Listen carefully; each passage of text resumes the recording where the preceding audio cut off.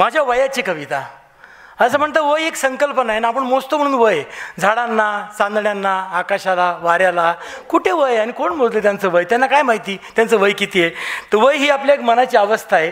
तर आणि तुम्ही समजाल तितकं तुमचं वय असतं आणि ते प्रत्यक्षाने बदलत असतं.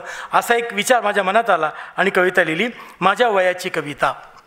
माझं वय किती? याबाबत नेहमीच कन्फ्यूज असतो मी. माझं वय किती? याबाबत नेहमीच कन्फ्यूज असतो मी.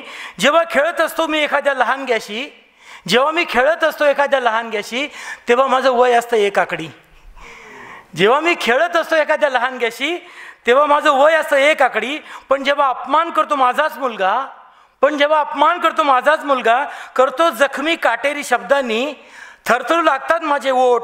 निघून जाते हातापायातली सगळी ताकद. तोल सावरायला मला घ्यावा लागतो आधार. तेव्हा मी असतो नव्वदीच्याही पार.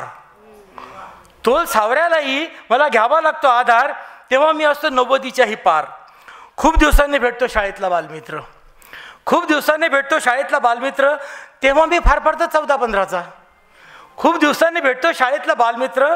तेव्हा मी फार पडतो चौदा पंधराचा एखादी षोडशा जाते भिरभिरत फुलपाखरासारखी. तेव्हा मी बनतो टीनेजर नुकताच नुकताच वयात आलेला. जेव्हा एखादी षोडशा जाते भिरभिरत फुलपाखरासारखी तेव्हा मी बनतो टीनेजर नुकताच वयात आलेला.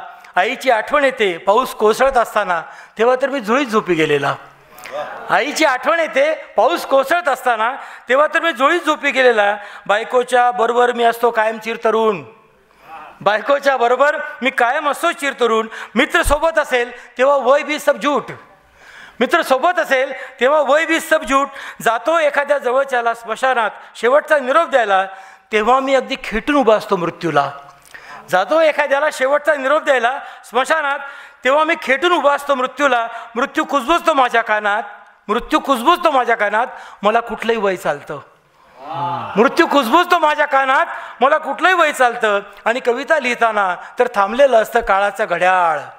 आणि कविता लिहिताना तर थांबलेलं असतं काळ्याचं घड्याळ. आणि मी असतो मुठी चोखत कवितेच्या मांडीवर झोपी गेलेलं बाळ.